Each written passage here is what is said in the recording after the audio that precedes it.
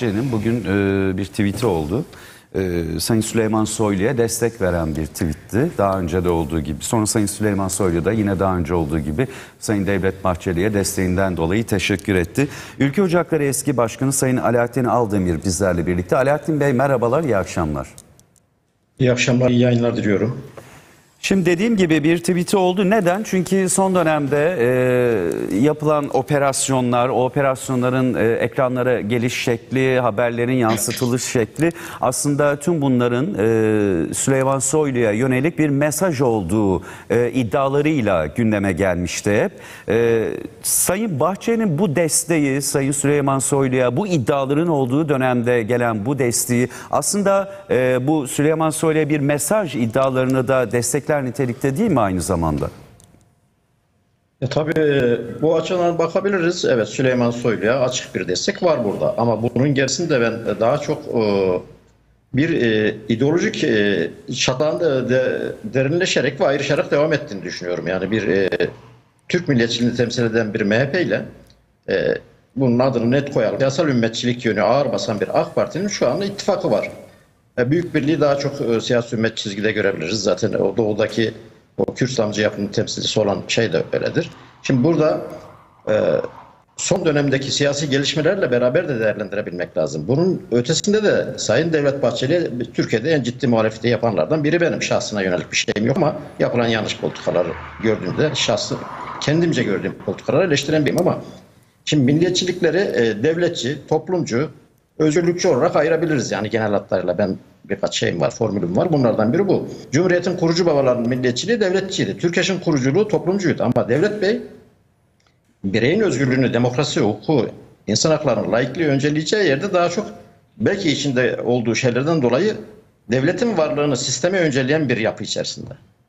Burada e, bu e, kaygılarla e, AK Parti ile beraber olduğunu düşünüyorum ve orada bir ne diyeyim yani sisteme yönelik bir e, sağlamlaştırma duruşu sergilediğini düşünüyorum. Şimdi bu noktada da e, Sayın e, Soylu'nun ayrıştığı nokta nedir? Liberal milliyetçi bir yaklaşımı vardır yani. Soylu'la biz doğru yola da beraber olduk. E, şimdi e, bu nokta ben ideolojik bir farkındalık da görüyorum. Tabii günlük olaylarında etkisi var ama AK Parti'nin içerisindeki bu milliyetçi, liberal e, kanadın e, bir adım öne çıkan temsilcisi Süleyman Soylu'ydu. Şimdi onun geri plana atılıp üzerine gidilmesi tamam kanun dışı gayrimeşru insanlarla fotoğrafları, ilişkileri, o 15 Temmuz'daki şeyler ama e, bunların ötesinde bir e, ideolojik çatlaklığın e, büyüyerek, derinleşerek devam ettiğinin göstergesi olarak görüyorum ben Sayın Bahçeli'nin açıklamasını. Hmm. E, sen nasıl gördün bu tweet? Daha önce de hep e, sahip çıktığı mesajlar, tweetler olmuştu. E, AKP ile MHP arasındaki ince çizgide mi duruyor Sayın Soylu? Hassasiyet noktası. Şimdi burada e, Bahçeli'nin kullandığı dilin benzeriyle Sayın Erdoğan cevap verirse şayet bu 24 saat içerisinde belli olacaktır. Çünkü kendisi şu an işte Nahçıvan'da. E, buna mukabil aynı sertlikte cevap verirse e, bu Cumhur İttifakı'nın e, bittiği manasına gelir. Süleyman Soylu'nun buradaki ekser e, etkisi şu.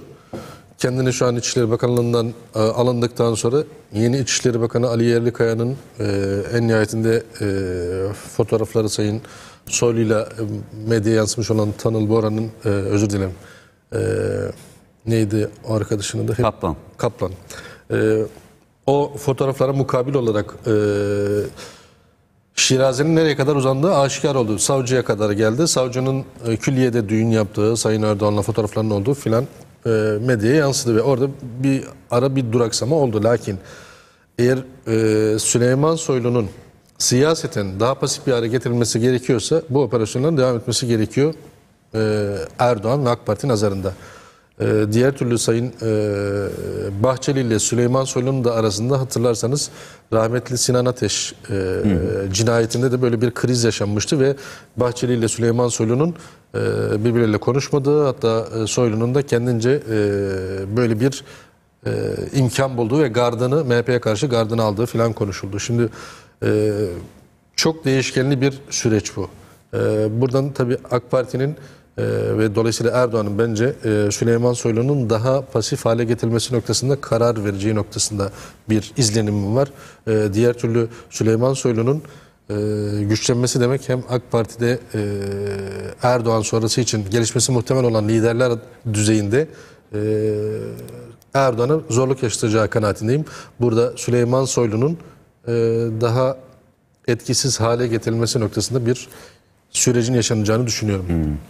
Ee, Alaaddin Bey katılıyor musunuz? Bu biraz da bir anlamda e, ön kesmek yani Süleyman Soylu'nun sonrası için önünü kesmek için atılan adımlardı Sayın Bahçeli'nin müdahale ettiği bu durum. Daha doğrusu destek vererek e, devreye girdiği bu durum. Öyle de diyebilir miyiz?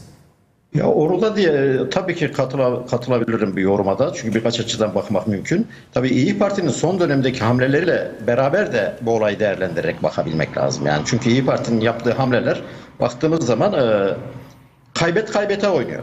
Bu kaybet kaybete oynamak e, arka kapı diplomasıyla e, yorum olarak söylüyorum. Belki AK Parti ile e, bir e, ilişkiler ağı kurulmuştur. Bir yol oluşturulmuştur. Bunu, bir bilgim yok. Yorum yapıyorum yani bu gelişmelerden yola çıkarak. Şimdi bu, bu noktada e, Sayın Bahçeli'yi rahatsız eder. Çünkü o alanın oradaki temsilcisi olmak ister. E, e, ha burada şeyi de görüyoruz biz yani bu e, şeyi kazandıktan sonra e, Cumhurbaşkanı seçimi kazandıktan sonra seçime kadar e, milliyetçi ülkücü kadrolara belli yerlerde belli kadro şeyler açılıyordu. Basamaklar açılıyordu. Ama ondan sonraki süreçte tamamıyla e, milli görüşten milli görüş geleneğinden gelen insanlara e, kademeler atlatılmaya ve o görüşten gelen ailelerin çocukları, o görüşten gelen referans sahibi insanlar devlet kadrolarında ciddi yerlerde yer almaya başladı. Şimdi bunlar da ülkücü hareket içerisinde ciddi rahatsızlık yaratıyor. Şimdi birçok açıdan bu olayı değerlendirmemiz gerekiyor. Tabii Sinan Ateş mevzunda ortada tabii bir ortak bir karartma olayı var. Şimdi ama devletin içerisinde namuslu devlet memurları var. Polisinden, adliyesinden, avukatından, hukukçusundan, yazarından anlıyor musunuz? Yani milli eğitimine hepsine. Şimdi e, AK Parti de herkes çok güçlü zannediyor muhalefet kendi içerisinde çatıştığını. AK Parti e, içerisinde ciddi tartışmaları var. Şu anki hükümeti almaktan da çok mutlu değiller. Eğer AK Parti e, bu hükümeti e, almasaydı, bu seçimi almasaydı belki siyaseten, sosyolojik olarak var olma şansı vardı. Ama bu kendi oluşturduğu yıkımın altından sadece ekonomik yıkım değil, dış politikada, sosyolojik yıkımımızın değişiminde, hukukun araçsallaştırılmasında birçok şeyde bu yıkımın altından bu yıkımı yapan kadroların kalkabileceğini çok düşünmüyorum ki ben şu anki e, Bakanlar Kurulu'nda siyasi bir kadrodan daha çok ağırlıklı olarak e, bir teknokratlar hükümeti gibi değerlendiriyorum. Burada bir e, elin olaya müdahale ettiğini de varsayıyorum yani sistem analizi açısından baktığımız zaman. E, şimdi e, burada tabii İyi Parti'nin alacağı tavır MHP'nin şeyini etkileyecek. MHP'deki tavır İyi Parti'yi etkileyecek. Burada da işte e, işte tutuklanan 20 gözaltına alınan 20 küsür kişi var. Yani şimdi onlar da milliyetçiyiz diyor ki yalıtımcı bir şey diyorlar işte biz nasıl Ermenileri bilmem ne yaptıysak bunları da gönderdiler. Benim milliyetçilik anlayışım hiçbir zaman böyle olmadı. Türk milliyetçiliğinin tarihçesine baktığım zaman da böyle bir milliyetçilik anlayışı yok. Şimdi burada da ben çok fazla İyi Parti ile MHP arasında e, e, ideolojik bir dünya görüş farklılığı olduğunu düşünmüyorum. Hani bir şehir efsanesi var. İyi Parti'dekiler daha çok şehirli. Yani tamam şehirli olabilirsin ama insan hakları yaklaşımında nedir yaklaşımınız? Kadın haklarında nedir? Çocuk işçiler konusunda nedir? Bir etnik bölücülük meselemiz var ama etnik bölücülüğün e, sadece e, ihanet olarak güvenlikçi politikalar açısından bakmak lazım. Yoksa burada demokrasi ve insan hakları problemimiz var mı? Bunu gidermemiz mi gerekiyor? Şimdi benim bakışım böyle ama bazı arkadaşlarımız diyor ki e, bunlar e, işte başka bir ülke, ülkenin yani olağan şüphelileri, ajanları biz bunları göndeririz. Böyle bir yaklaşım, böyle bir dünya görüşü yok yani. Böyle bir milliyetçilik benim kabulüm de yok. E, Şimdi ha bu insanlar şiddete başvurmadan, bana göre şiddete başvurmadan, iftira atmadan, e, toplumu e, infiale sürüklemeden fikirlerini söyleyebilmeliler. Yani nasıl ki çıkıyorlar işte Arapça şeylerle biz bir e, aynı milletiz. Evet onlar e, semantik olarak yani ontolojik olarak o kavramsal olarak millet aynı zamanda ümmet kavramı taşır. Onların millete yüklediği kavram bu. Şimdi bu tartışmaları da Devlet Bey'in e, bu çıkışları da Devlet Bey'in bu tavrında e, göz önüne almamız lazım diye düşünüyorum. Ee, yani aslında bir şeyler söylenirken o sırada neler yaşandığının bütününe bakarak e, belki daha e, doğru bir sonuca nedene ulaşılabileceğini anladığım kadarıyla vurguluyorsunuz. Şimdi e, bir de şuna da bakmak gerekmiyor mu? Veysi Dündar. Yani bu operasyonların ne şekilde devam edeceğini ya da devam edip etmeyeceğini e, işte İçişleri Bakanlığı bu operasyonları yaptı ama hani tek mafyada bunlar değildi. Türkiye'de ne kadar yaygınlaştığını biliyoruz. E, Başka başka gruplara da ilerleyecek mi bu operasyonlar ya da işte karanlık cinayetler Sinan Ateş cinayetine örnek verdin. E, Hani bu konuda ilerleme sağlanacak mı? Sadece Süleyman Soylu'ya bir mesaj mı yoksa değil mi sorusunun cevabı biraz da e, sürecin devamına bağlı diyebilir miyiz? Şimdi Süleyman Soylu döneminde e, mafyaların daha çok fazla sahne aldığında hepimiz hemfikiriz. Dolayısıyla şu an e, dikkat ettiysen e, dünyanın bütününden mafya e, ithal etmiş durumdayız. Kaldı ki kimi bu mafya liderlerinin de vatandaşlık Tabii. aldığını konuştuk, konuşuyoruz, medyaya da yansıdı.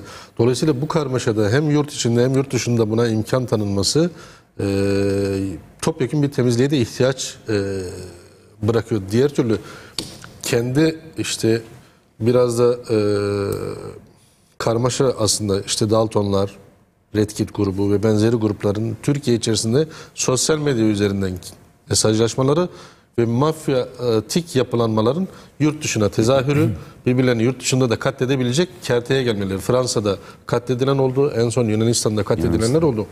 Çok büyük bir güçten bahsediyoruz. Bu Sadece e, uyuşturucu madde satışıyla ilgili de değiliz. Bunu hep atlıyoruz. Sanal e, ne diyelim ona? Sanal kumar e, sistemleri de çok büyük bir etken, çok büyük paralar dönmekte. Dolayısıyla hem e, uyuşturucu madde satışı hem kumar ve mafyaların her konuda birbiriyle böyle e, daha etkin hale gelebilmek için e, adeta e, sinek öldürürcesine birbirlerini öldürmeye tevessül etmeleri ülkedeki karmaşanın, ülkedeki silahlanmanın, ülkedeki e, kirlenmenin ne kadar büyük olduğunu aslında göz önüne seriyor. E, dolayısıyla bu haliyle de gidişin mümkün olmadığını hep beraber